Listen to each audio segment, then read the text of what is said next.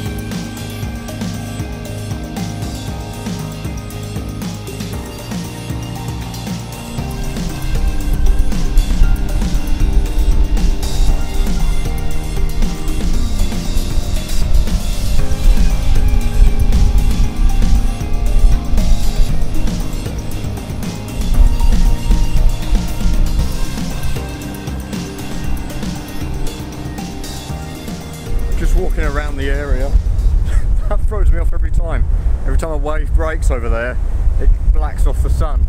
And I just think there's a freak wave coming. I'm trying to look for a composition.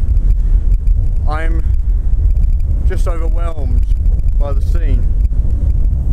What I wouldn't mind getting a photo of is that thing right up in the distance there. I got some B-roll when I was walking over to it. You can see it in the background. So I want to get I want to get a photo of that. Um, I'll probably take a photo from there, looking across. I don't like all the clutter in the foreground. Blimey, that wind is so strong. Oh, I'm just getting sandblast, sandblast as well. Ah! This wind is strong. It's relentless. I was going to fly my drone around and get some footage.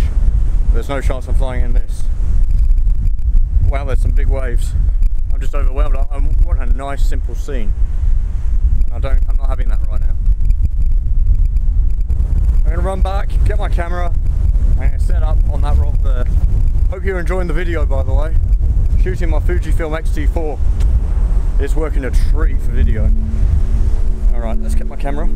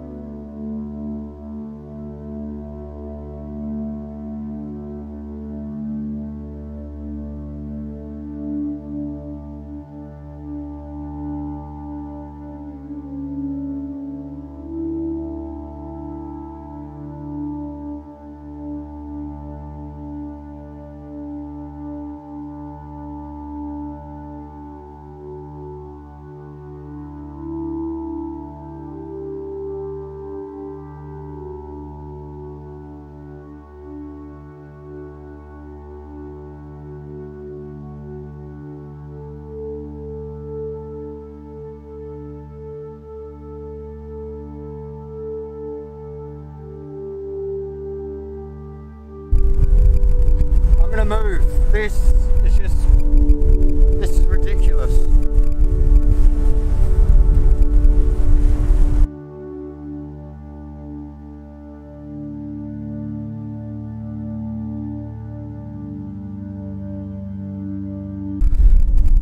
I regret not bringing my uh, long lens with me. There's some people up on that big rock and it just looks really cool with them on it. Gives a sense of perspective. But since I don't have my long lens, I cannot get that shot. There must be at least 30 people up on that rock. This looks spectacular. Oh, those conditions over there were horrible. Getting sandblasted. We've lost our sun now. Don't know if you can tell that. I'm gonna try and get one more photo in today. And then I'll be a happy boy.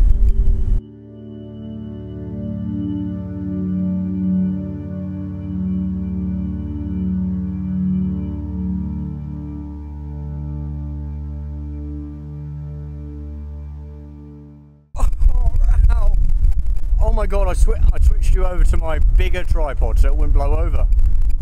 You still got blown over. Holy shit. You were half a meter from being destroyed.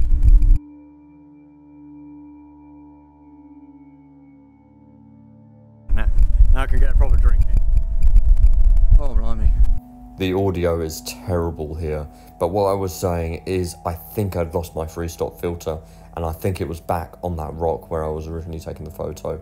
So we have to go back over there and hopefully we can find it and it hasn't blown into the sea. Yep, I think that mic is done for, hey?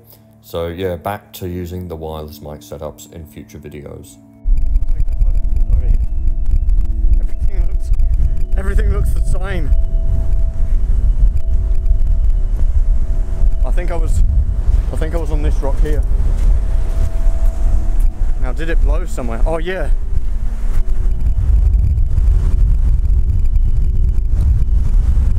Got it, got it. I didn't see it when I was packing up. Thank goodness.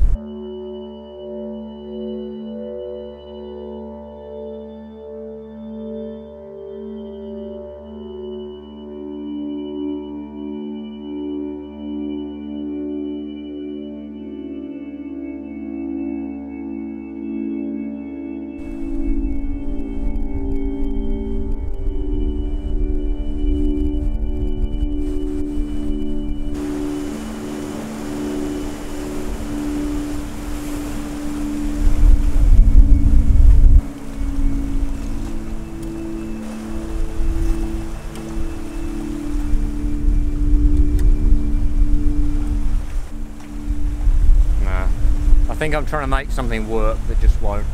The light isn't right. I'm shooting into basically an overblown blown part of the sky. If I was shooting that way, it'd be fine.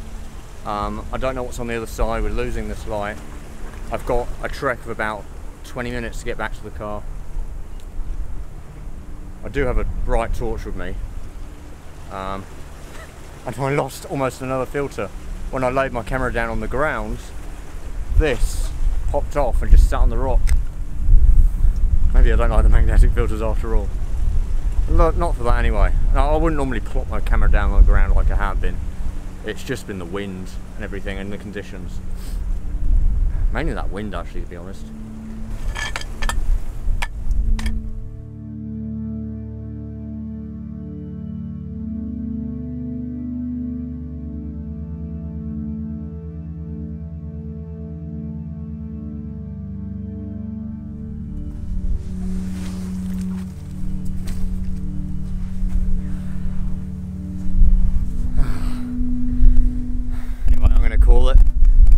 Hope this video.